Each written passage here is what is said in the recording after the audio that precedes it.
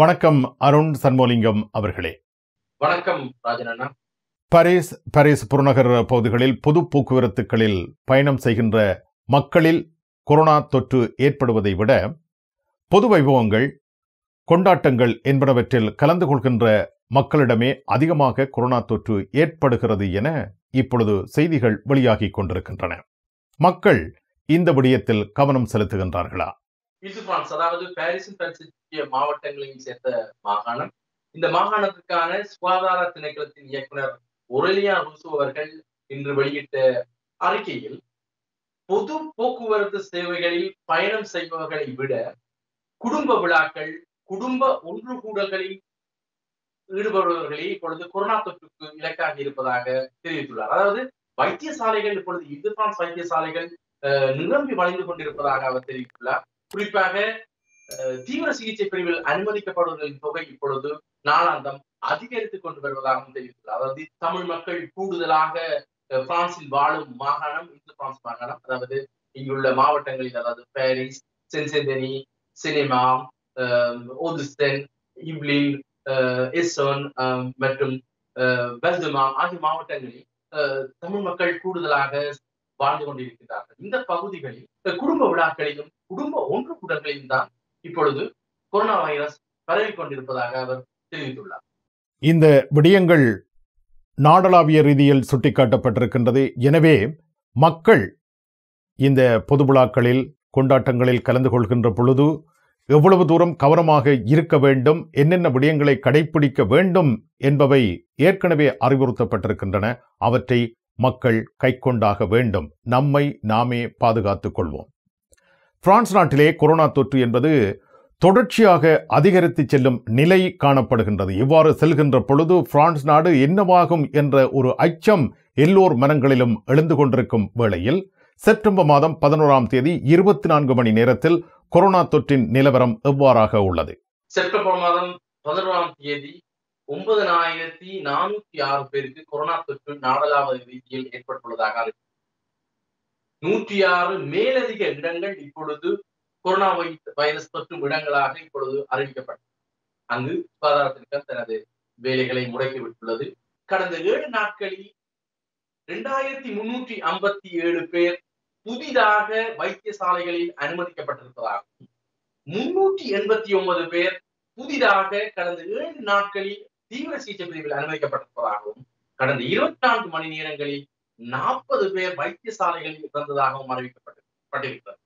முப்பதனாயிரத்தி எண்ணூத்தி தொண்ணூற்றி மூன்று பேர் கடந்த மார்ச் மாதம் முதலாம் தேதியிலிருந்து இன்று வரை கொரோனா வைரஸ் தொற்றுக்கு இலக்காகி பிரான்சில் மரணம் அடைந்திருப்பதாகவும் அறிவிக்கப்பட்டது.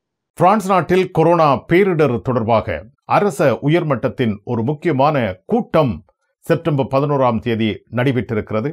பிரான்ஸ் நாட்டிலே என்னென்ன நடவடிக்கைகளை இந்த கொரோனா தொற்றுக்கு எதிராக எடுப்பது என்பது தொடர்பாக பல்வேறு தரப்பினர் அங்கே ஆலோசனைகளை மேற்கொண்டிருக்கின்றார்கள். நாட்டின் பிரதமர் மக்களுக்கு என்ன விடயங்களை எடுத்து கூறியிருக்கின்றார்?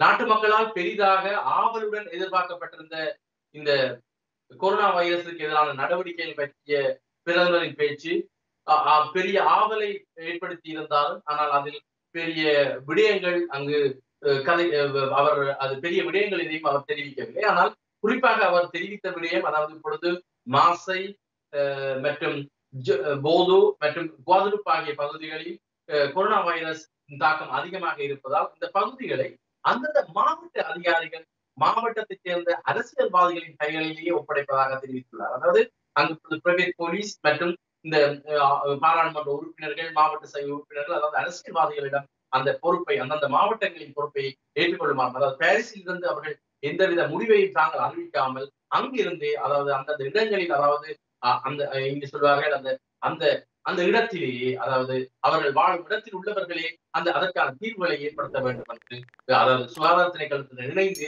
இந்த அதற்கான நடவடிக்கைகளை அங்கு ஏற்படுத்த வேண்டும் என்று தெரிவித்துள்ளார். அதாவது வரும் திங்கட்கிழமைக்கிடையில் இவர்கள் இதற்கான என்னென்ன நடவடிக்கைகள் தாங்கள் செய்ய போகின்றார்கள்? அதாவது மாசை அஹ், போது மற்றும் கோதலூர் பகுதிகளில் என்னென்ன நடவடிக்கைகளை மாவட்ட அரசு அதிகாரிகள் மேற்கொள்ள இருக்கின்றார்கள் என்பதை தங்களுக்கு தெரிவிக்க வேண்டும் என்றும் அவர் தெரிவித்துள்ளார். ஆனால் அவர் முக்கியமாக குறிக்கப்பட குறிப்பிட குறிப்பிட்ட விஷயம் இந்த பதினான்கு நாட்கள் தனிமைப்படுத்தல். அதாவது கொரோனா வைரஸ் தொற்றுக்கு உள்ளானவருடன் தொடர்புடைய ஒருத்தர் பதினாலு நாட்கள் தனிமைப்படுத்த வேண்டும் என்ற திட்டம் இங்கு இருந்து வந்தது. அதை இப்பொழுது ஏழு நாட்களில் அவர் அதாவது கொரோனா வைரஸ் தாக்கு தாக்குதல் ஏற்பட்ட ஒரு நோ- நபருடன் தொடர்பு கொண்டதால் மற்றவர் அந்த தொடர்பு கொண்டவர் ஏழு நாட்களை தனிமைப்படுத்தப்பட்டு இருக்க வேண்டும் என்றும் தெரிவித்தார் இப்பொழுது வைத்தியசாலைகளில் அனுமதிக்கப்படுபவர்களோ தீவிர சிகிச்சை பிரிவில் அதாவது குறிப்பாக தீவிர சிகிச்சை பிரிவில் அனுமதிக்கப்பட்டிருப்பவர்கள் வயதானவர்கள் தான். அதாவது கடந்த மார்ச் மாதத்தை போன்றே இப்பொழுதும் அவர்கள் வயதானவர்கள் தான் இப்பொழுதும் அனுமதிக்கப்பட்டிருப்பதாக அவர் ஆஹ், மேலும் தெரிவித்துள்ளார். அதை விட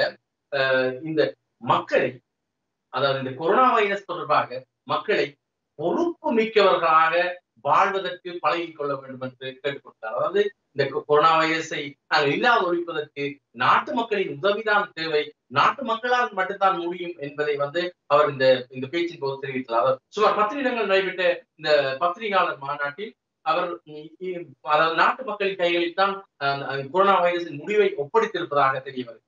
பிரான்ஸ் நாட்டை அதிர்ச்சிக்கு உள்ளாக்கி இருக்கின்ற ஒரு விடயம்.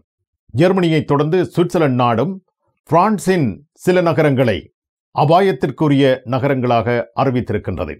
இந்நிலையில் பிரான்சில் இருந்து சுவிட்சர்லாந்து நாட்டுக்கு இனிமேல் செல்லப் போகின்றவர்கள் அங்கே தனிமைப்படுத்தலுக்கு உள்ளாக வேண்டிய நிலை இருக்கின்றதா?